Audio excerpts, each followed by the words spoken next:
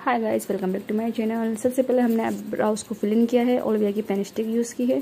फिर ये सेड लेके मैं अपने कप ऑफ़ द क्रीज पे अप्लाई करी हूँ, उसके नीचे डार्क सेड यूज़ किया है ब्लैक शेड अप्लाई किया है, सबको मिक्स करके कंजीलर कट क्रीज की है।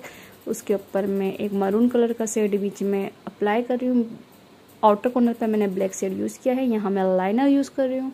नॉर्मल सा लाइनर अप्लाई करना है। ओलविया की ज़ीरो सेवन शेड मैंने एज अ करेक्टर यूज़ किया है।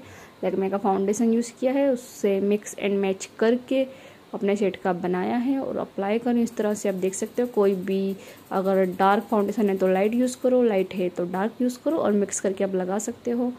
कॉन्टोरिंग में यहाँ कर रही हूँ। अलग अलग की कॉन्टोर स्टिक से ऊपर की साइड आपको कॉन्टोर करना है। और यहाँ मैं नोज़ कॉन्टोर कर रही हूँ ताकि मेरी नोज़ बहुत ज़्यादा शार्प दिखे। बेकिंग करूँगी लूज पाउडर से, ताकि जो भी हैवी बेस अप्लाई किया वो सेट हो जाए और लॉन्ग लास्टिंग हो जाए। हाइलाइटर अप्लाई किया ब्लश अप्लाई किया लिपस्टिक अप्लाई कर दिया है। और ये है मेरा final finishing makeup look guys I hope आपको पसंद आया। पसंद आया तो वीडियो को लाइक शेयर सब्सक्राइब करना ना भूले। Thank you for watching